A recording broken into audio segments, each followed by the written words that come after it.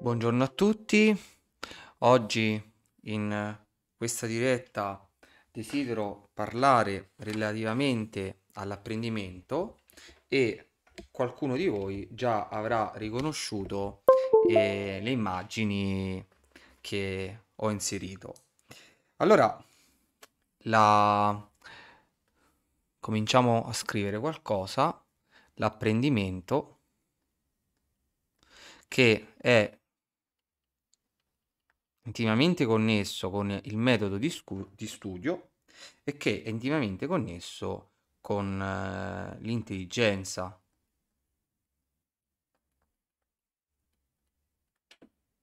Nella storia della ricerca sull'intelligenza, nell'ultimo secolo, si è avuto un, un, un ritmo di ricerca molto molto elevato e nei primi del Novecento in Europa e nel Nord America, quando la società si trovò a reagire a forti mutamenti, sia dovuti allo sviluppo economico sia allo sviluppo tecnologico, eh, avvenne che le conoscenze scientifiche e il loro uso pratico infondevano ottimismo ai bisogni speciali, sociali. E quindi vi era un desiderio di eh, studiare il comportamento umano.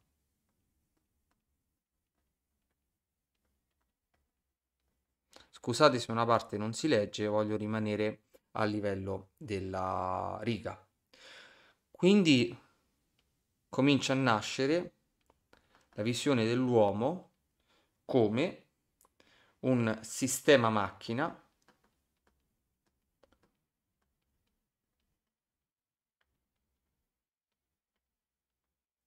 di cui valutare e studiare come ottimizzare le prestazioni e i livelli di efficienza in merito all'apprendimento e all'intelligenza. Quindi ovviamente tutto poi si ricollega.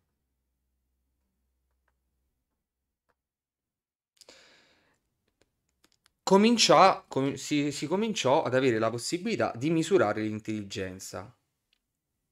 E qualunque cosa si intendesse per misurare l'intelligenza, questa costituì una delle massime aspirazioni delle scienze umane e della psicologia sperimentale. Quindi comincia ad esserci la misura. Che ovviamente, ripeto, riguarda soprattutto la parte delle scienze umane e della eh, psicologia, ma anche della pedagogia. Ovviamente la misura dell'intelligenza è relativa anche alla, alla caratteristica umana in termini di l'intelligenza ha una multifattorialità che dipende dai anche tratti individuali dell'essere umano. E quindi spesso si ricorreva a stime indirette come la capacità di percezione o riflessi, percezione, riflessi, puntini puntini, queste sono stime indirette dell'intelligenza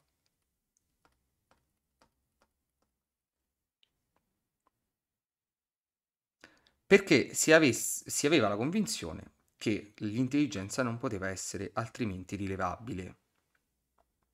Poi vi erano concezioni estreme che condicevano a un uso smodato delle ricerche e degli studi nel campo della psicologia, ma anche segno premonitore di dove potevano portare gli interessi della scienza applicata all'uomo. In particolare Robert Sternberg e Elena Grigorenko scrivono, relativamente alla prassi del testing che avviene in America, lo metto virgolettato, a un certo momento, dopo che tutte le operazioni relative al test sono finite, dopo il test, qua ovviamente faccio una sintesi, ciascun soggetto esaminato riceve di solito il solo feedback.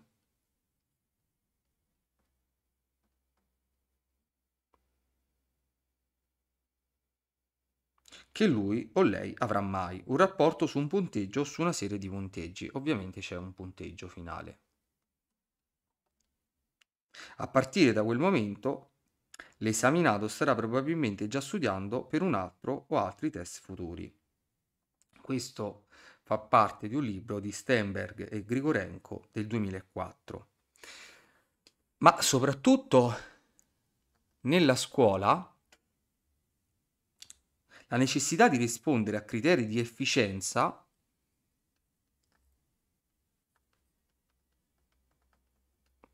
tende ormai quindi a condizionare metodi di valutazione delle capacità individuali.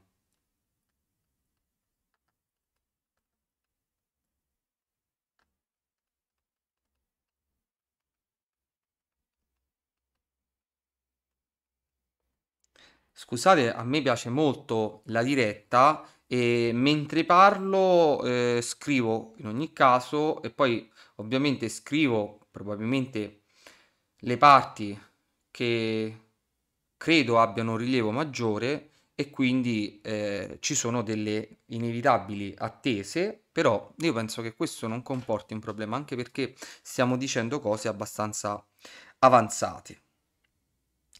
E quindi la scuola si con- concentra l'attenzione in modo sempre più pressante sulla questione degli standard. Perché? Perché deve determinare gli obiettivi di apprendimento da raggiungere. Obiettivi di apprendimento.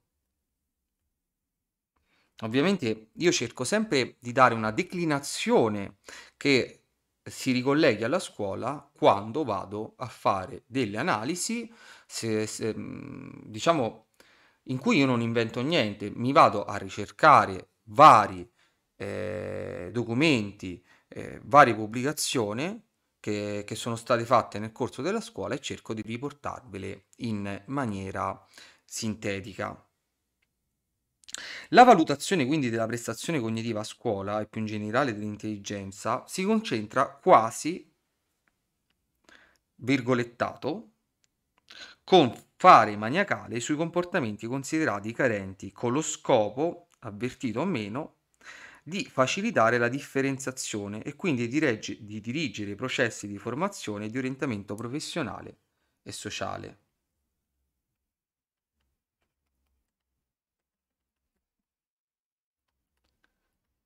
Quindi, inerente,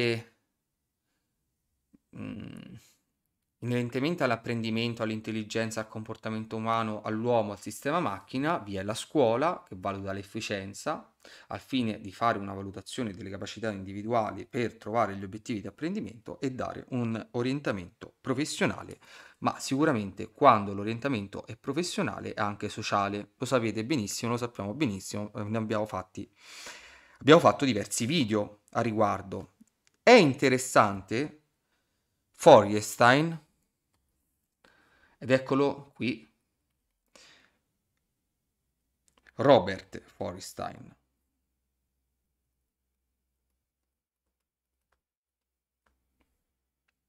Perché vi era un paradigma scientifico e culturale con- che condizionava, condizionava gli intellettuali e affondava le proprie radici in una visione fissista e comportamentista dell'essere umano.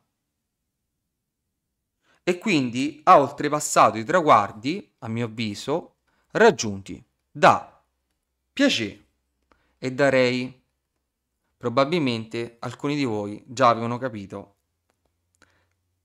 i volti avevano già individuato le immagini di Piaget, Rey e Feuerstein, perché ovviamente sono collegati. E Feuerstein in particolare ha esplorato la mente e la sua base neurale cogliendo il valore dell'intersoggettività dell'esperienza umana più di quello di una visione determinista dei tratti umani. Lo scriviamo qua.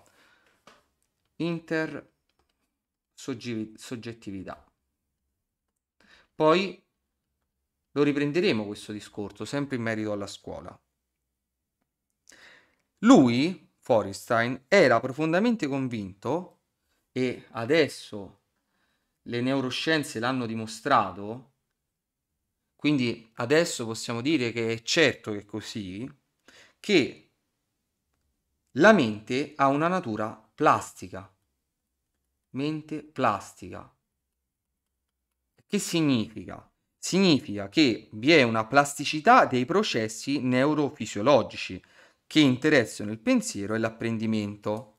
Ed ecco qua che ci ricolleghiamo sempre all'intelligenza, al pensiero e all'imprendimento. E dopo tanti, tanti, tanti anni di lavoro è andato ad esaminare le capacità mentali di bambini e giovani.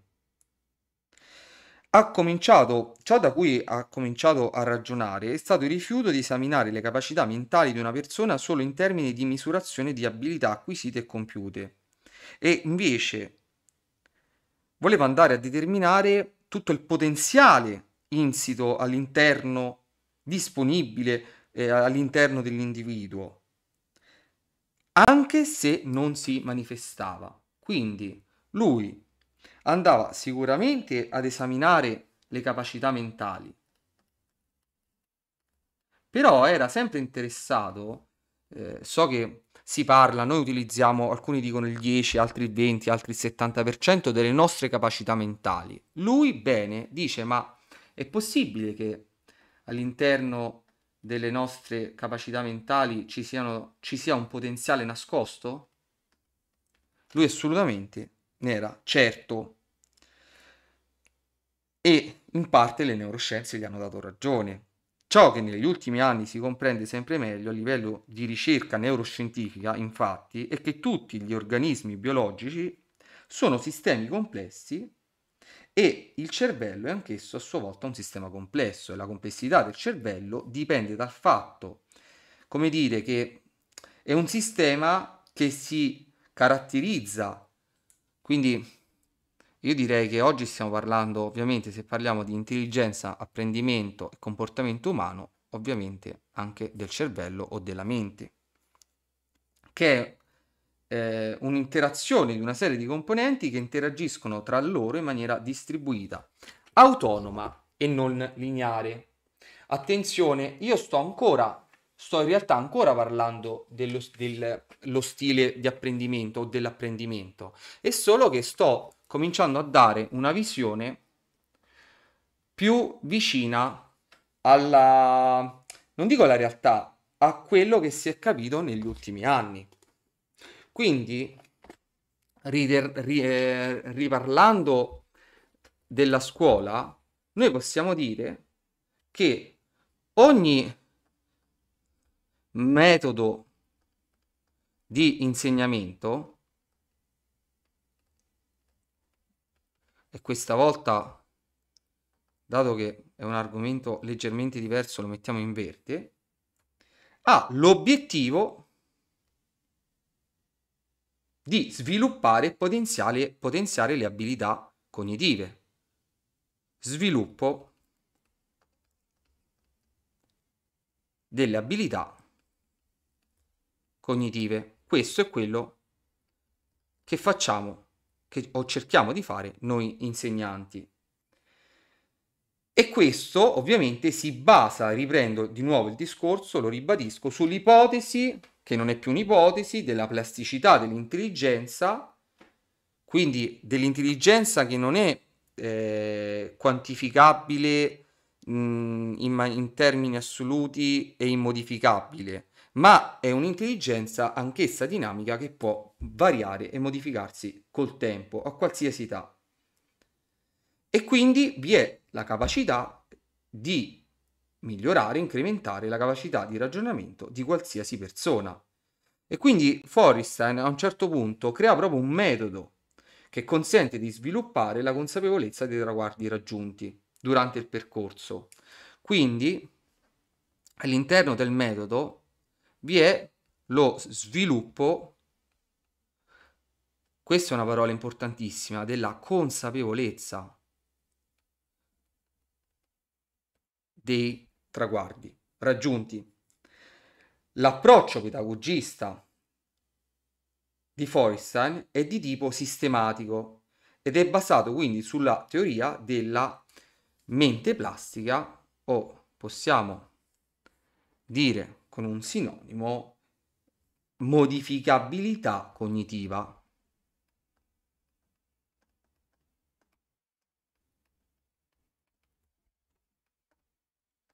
Ancora molti di noi queste cose non le sanno. Pensiamo di avere un'intelligenza e che essa sia eh, derivata unicamente mh, da eh, di, sia solo mh, di origine biologica, nasciamo con una determinata intelligenza e una volta che è tale non possiamo fare niente. Quindi questo si contrappone alla teoria innatista cioè che noi nasciamo con una determinata intelligenza. E invece questa teoria ritiene che le facoltà intellettive dell'individuo possono essere accresciute sia nell'età evolutiva che durante tutto l'arco di vita. Quindi il metodo di insegnamento, lo sviluppo delle attività cognitive o delle abilità, lo sviluppo della consapevolezza, tutto questo può avvenire, badate bene, per tutta la vita. Non si smette non solo mai di imparare, ma di modificare e anche di poter migliorare la performance intellettiva. Ripeto, in qualsiasi condizione fisica o psicologica è quindi possibile sviluppare abilità cognitive e quindi e di conseguenza è possibile migliorare la qualità dei rapporti con l'ambiente. Come? Andando a stimolare stimolazione delle abilità cognitive. Badate bene, questo è utile sicuramente a livello di concorso, però è utile secondo me a livello proprio di cultura generale per mm, nostra. Cioè, ovviamente sapere che noi possiamo andare a eh, modificare, a migliorare le nostre abilità, non solo dei nostri studenti, ma anche le nostre, ovviamente potrebbe, almeno a me, è un qualcosa che mi interessa tantissimo. Tutto questo è confermato da analisi scientifiche, perché va, si, tramite eh, ci sono delle eh, risonanze magnetiche funzionali che vanno a monitorare l'organo, la mente, il cervello in attività in tempo reale e vanno ad evidenziare che i comportamenti nuovi vanno a, eh, a riper- si ripercuotono su tutto il cervello e quelli, i, i, comportamenti invece consolidati producono dei mutamenti permanenti.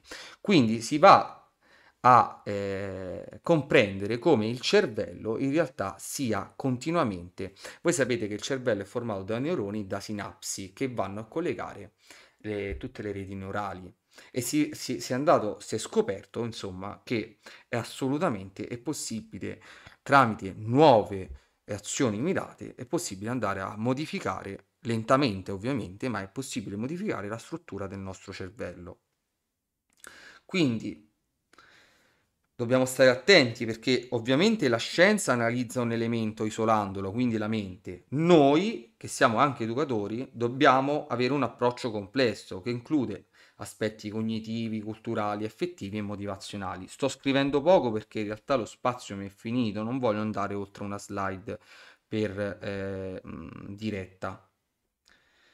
Questo fa sì, quindi, che tutto quello che noi impariamo può essere generalizzato trascendendo l'immediato e può essere riproposto in altre situazioni. Se qualcosa non vi è chiaro, eh, lasciatemi dei commenti. A me questa, questi elementi mi hanno sempre affascinato, quindi io ripeto, ve, le, ve li dico sia per il concorso, perché ovviamente secondo me è bene saperle queste cose, sia perché è affascinante proprio eh, comprenderle nella vita per eh, risolvere problemi che ognuno di noi può avere.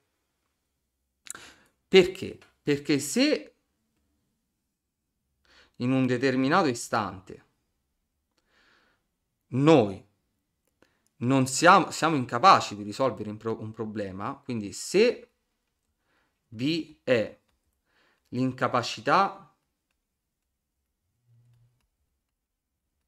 un'incapacità, devo essere sintetico, è possibile che dopo circostanze diverse, sì, ovviamente ritornandoci sopra, si riesca a trasformare questa incapacità, scriviamolo di nuovo in verde, che bello, in capacità. Vi può essere una nostra evoluzione della mente che ci permette di affrontare quello che prima non riuscivamo. E quindi, secondo Forestein, non lo dico solo io, l'apprendimento si verifica in seguito a stimoli diretti, ma anche grazie all'azione di un mediatore. E il mediatore, immagini- immaginiamo chi è, è l'insegnante. La figura del mediatore è fondamentale. Come una madre esercita l'azione mediatrice sul bambino fin dalla nascita, che sceglie quindi stimoli adatti e li propone usandoli nei diversi contesti e ne elabora i risultati. Quindi un mediatore esperto, un insegnante esperto, applica gli stessi principi, però non in maniera istintiva, ma con consapevolezza. Lo scrivo in verde grosso, con, oddio, forse troppo grosso, consapevolezza. Vi sono tre vincoli che, di cui vi parlo e poi finiamo il video. Lo scri- li scrivo, vediamo, sempre in verde, ne abbiamo tre immagini, usiamo i tre vincoli. Vi è il tempo, che è un primo vincolo, ossia lo sviluppo di esperienze di apprendimento mediato deve essere adeguatamente lungo chi riceve gli stimoli, gli stimoli deve avere in un qualche modo la possibilità di metabolizzarli, di recepirli, di svilupparli, di farli proprio, propri, scusate. Ovviamente il metodo che si utilizza, quindi solo i formatori esperti, solo i docenti esperti che conoscano adeguatamente le diverse sfaccettature del metodo possono operare con successo. E infine il contesto e l'ambiente di apprendimento. Deve esserci un ambiente favorevole e collaborativo che condivida le aspettative create nel rapporto allievo-mediatore e riconosca e valorizzi i progressi anche più piccoli del soggetto. Quindi l'individuo oggetto dell'esperienza deve essere inserito in un ambiente in grado di accettare e anche eh, sicuramente di promuovere le nuove capacità. Il programma non, può, non avrà mai successo in un gruppo indifferente all'iniziativa o addirittura ostile. Questi vincoli, che sono presupposti indispensabili, tempo, metodo, contesto, sono indispensabili alla riuscita del processo.